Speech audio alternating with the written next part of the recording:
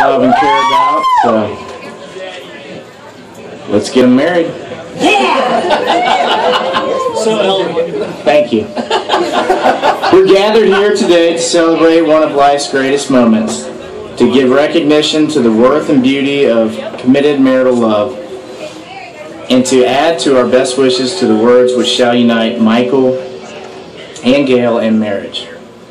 The commitment that the two of you are about to make is the most important commitment that two people can make. You're about to create something new, the marriage relationship, an entity that never ends. As you stand here today, are you now prepared to give this commitment to one another? I am. Have you come here freely and without reservation to give yourselves to each other in marriage? Michael and Gail, I would ask that you both remember to treat yourself and each other with dignity and respect. To remind yourselves often of what brought you together today. Give the highest priority to the tenderness, gentleness, and kindness that your marriage deserves. If each of you will take responsibility for the quality of your life together, it will be marked by abundance Of feedback. and feedback. and we all know Gail can give you feedback. Positive feedback. so, Yes, yes. Here, here. uh, I'll state that again. It will be marked by abundance and delight. Michael Mark McDade, will you have this woman to be your wedded wife? I will.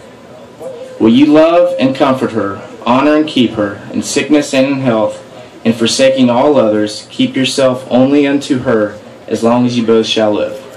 I will. Gail Susan Lindsey, will you have this man to be your wedded husband? I will. Will you love and comfort him, honor and keep him, in sickness and in health, and forsaking all others, keep yourself only unto him, as long as you both shall live? I do. Since it is your intention to enter into this marriage, join your right hands and declare your consent before these witnesses by repeating after me.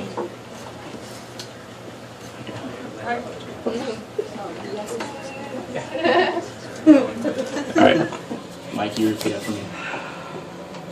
I, Michael, take you, Gail, I, Michael, take you, Gail, to be my wife, to be my wife, to have and to hold from this day forward, to have and to hold from this day forward, for better or for worse, for better or for worse, for richer or for poorer, richer or for poorer, in sickness and in health, in sickness and in health, to love and to cherish, to love and to cherish, as long as we both shall live. as long as we both shall live. Gail? I, Gail, take you, Michael, I, Gail, take you, Michael, to be my husband, to be my husband, to have and to hold. To have and to hold. From this day forward, from this day forward, for better or for worse, for better or for worse, for richer or for poorer, for richer or for poor, in sickness and in health, sickness and in health, to love and to cherish as long as we both shall live. to love and to cherish as long as we both shall live. Michael and Gail, and so much as the two of you have agreed to live together in matrimony, have promised your commitment to each other by these vows and the joining of your hands by the authority vested in me in the state of Tennessee, I now pronounce you husband and wife.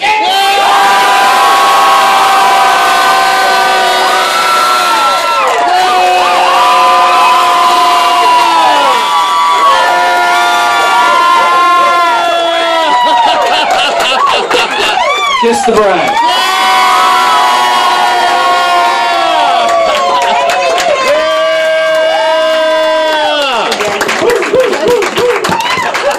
Good job. Finally. Finally. Thank you all very much. Thank you, Carden Smith, for performing the ceremony. Thank you all for being here.